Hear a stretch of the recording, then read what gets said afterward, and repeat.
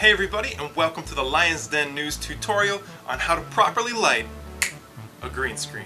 There are a few key elements that I think you need as a minimum for lighting a green screen. When I first started YouTubing, I used a green screen like this. It's just a piece of fabric stretched across an old screen door. All in all, the whole thing was maybe $12. And to that, I used simple garage floodlights, which I found at a hardware store for $6 a piece on sale. So the whole project with two of these floodlights was less than $25. Since then, I've gotten an entry-level set to make the green screen effect, and I have to say it's been a very great success, but I use the same principles whether it's this setup or that setup.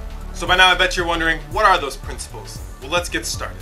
There are really two things that are important to lighting your green screen properly, are to have an even surface and to have even color. To have an even surface, you want to have it stretched out. Like you saw with my old green screen, I had it stretched over an old screen door. With this green screen, I've got it secured with clamps on all the sides. This gives a flat surface to work with and lets your light splash across it evenly. Now, to get the even color, you need at least two lights. I started with two garage floodlights and it gave me more than enough light for the small green screen I was working from. But in an ideal setup, you have a three light minimum. Those three lights are used for three purposes. First light is your center light. It should be in front of the subject and light them from the front. I also like to position it to splash a little bit of additional light on the back if possible. Now your second light is your fill light. You want to use that to light up as much of the green screen in an even tone as possible. In general, the optimum way to do that is to have it at a 15 degree angle to the green screen so that the light spreads across the entire green screen.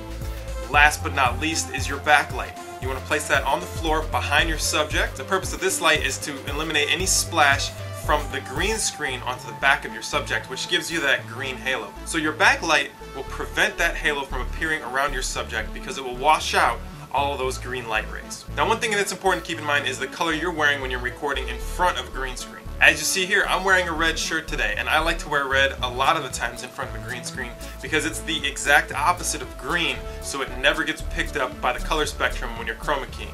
You wear colors that are similar in hue to green or white, you may get some splash over, and you could start canceling yourself out instead of the background.